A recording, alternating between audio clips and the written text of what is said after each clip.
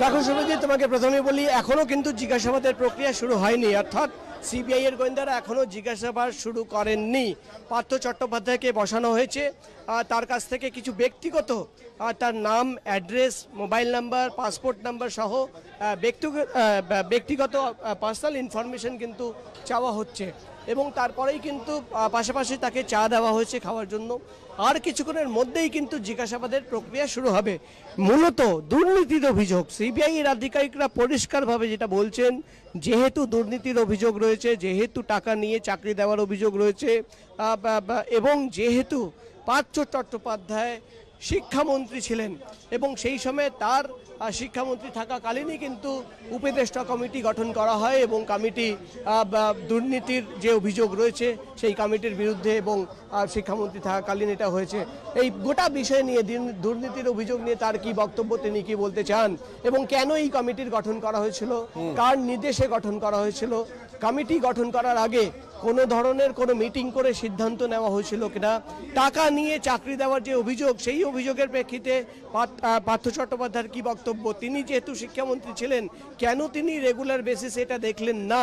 এবং যে অভিযোগ একেবারে নিঃসন্দেহে এই সমস্ত প্রশ্নের উত্তর জানতে চাইবেন প্রাক্তন শিক্ষামন্ত্রীর থেকে কিন্তু এখনও পর্যন্ত সেই জিজ্ঞাসাবাদ পর্ব শুরু হয়নি। যে মুহূর্তে শুরু হয় পার্থ চট্টোপাধ্যায় সেই সমস্ত প্রশ্নের উত্তরে কি বলে নজর থাকবে? আমাদের আরেক প্রতিনিধি কৃষ্ণেন্দু অধিকারীর সঙ্গে কথা বলব। কৃষ্ণেন্দু একেবারে যখন আদালত নির্দেশ দিল যে সন্ধে ছটার মধ্যে পার্থ চট্টোপাধ্যায়কে সিবিআই জিজ্ঞাসাবাদের মুখোমুখি হতে হবে তুমি সেই মুহূর্ত থেকে পার্থ চট্টোপাধ্যায়ের বাড়ির সামনে রয়েছে। একেবারে নিস্তরঙ্গ একটা পরিবেশ ছিল। কিন্তু তারপর যখন ডিভিশন বেঞ্চ কোনো নির্দেশ দিতে অস্বীকার করল, তারপর হঠাৎই তৎপরতা পার্থ চট্টোপাধ্যায় সঙ্গে সঙ্গে বেরোলেন। একবার সেই মুহূর্তটা দর্শকদের জন্য তুলে ধরো।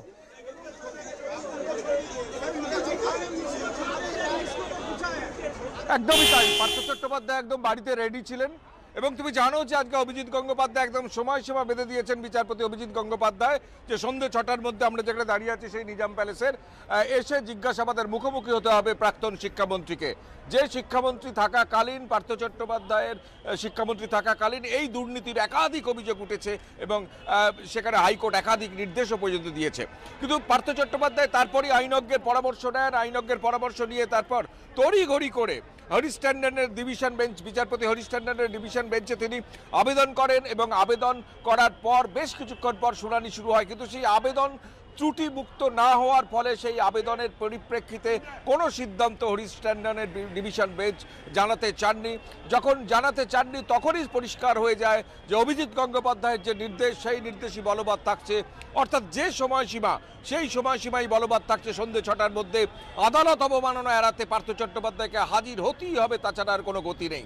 এবং পাশাপাশি যে তিনি রিল্যাক্সেশন পেয়েছিলেন আজ থেকে পাঁচ সপ্তাহ আগে সেই রিল্যাক্সেশন তিনি পেলেন না।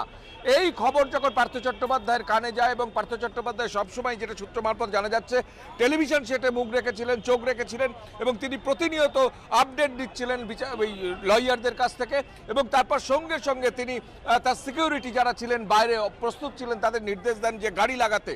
পার্থ চট্টোপাধ্যায়ের বাড়ির কাছে গাড়ি লাগানো হয় এবং পাঁচটা দশ তখন তিনি সঙ্গে সঙ্গে গাড়িতে ওঠেন এবং সোটান চলে আসেন বিভিন্ন পথ ধরে পাঁচটা কুড়ি মিনিট আগে থেকে অর্থাৎ পাঁচটা একেবারে চল্লিশ নির্ধারিত সময়ের কুড়ি মিনিট আগেই তিনি নিজাম প্যালেসে পৌঁছে যান। আমাদের আরেক প্রতিনিধি অনির্বাণ বিশ্বাসের সঙ্গে কথা বলব। অনির্বাণ তোমার কাছে কি আপডেট